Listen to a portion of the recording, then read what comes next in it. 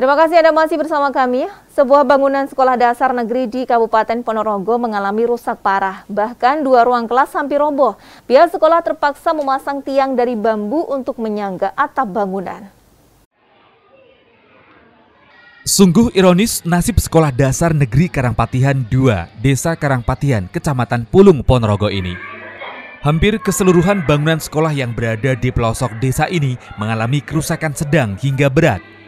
Bahkan dua ruangan untuk kelas 1 dan ruang kelas 4 bagian atap harus disangga dengan tiang bambu sebagai penahan agar tidak ambrol. Nikola Adi Pratama, salah satu siswa mengatakan, dirinya merasa takut dan khawatir saat belajar di dalam ruang kelas. Terlebih pada waktu musim hujan, ruang kelas sering bocor dan mengakibatkan genangan air di dalam ruang kelas. Ini kelas berapa, Dek? Kelas 6. Kelas 6.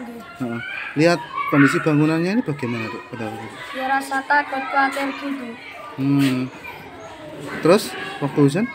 Waktu hujan airnya masuk ke dalam kayak banjir gitu. Oh, banjir. Iya. Kalau seperti itu libur sekolah ya? Enggak Enggak. bertatap muka. Tatap muka juga. Tapi enggak di dalam kelas. Oke, di dalam kelas Hmm. bersihkan. Membersihkan dulu. Oke. Hmm. PLT Kepala SD Negeri 2 Karangpatihan Ahmad Kumaidi mengatakan, sejak dirinya mengajar di sekolah pinggiran tersebut pada tahun 2019, kondisi bangunan sudah memprihatinkan. Demi keselamatan siswa dan guru saat proses belajar mengajar, dirinya memindahkan siswa kelas 1 ke ruang UKS yang sempit untuk sementara.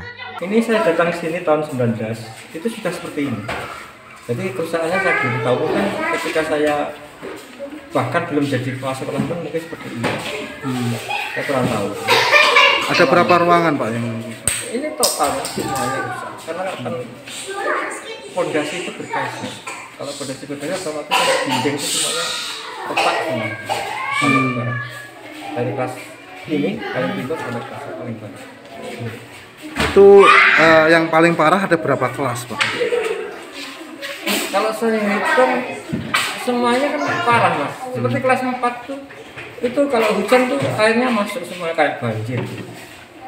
Kalau selama ini sudah ada anu, Pak, pengajuan kepada dinas terkait. secara lesan waktu itu ketika rapat didatangi di tingkat kecamatan oleh kepala dinas itu saya usulkan secara lesan lalu juga saya melangkah secara apa itu proposal mengajukan proposal.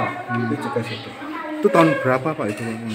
Ketika saya datang di ketika tahun 19 sudah saya ajukan 2019. Pak. 19 saya ajukan harapannya ya selekas mungkin nih Karena sudah parah, Pak ya. Kan kaitannya dengan anak kecil mas.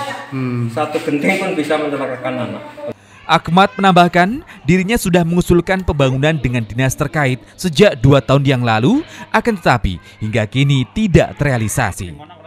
Pihak sekolah berharap agar segera ada perbaikan untuk bangunan ruang kelas tersebut. Ega Patria, JTV, Ponorogo.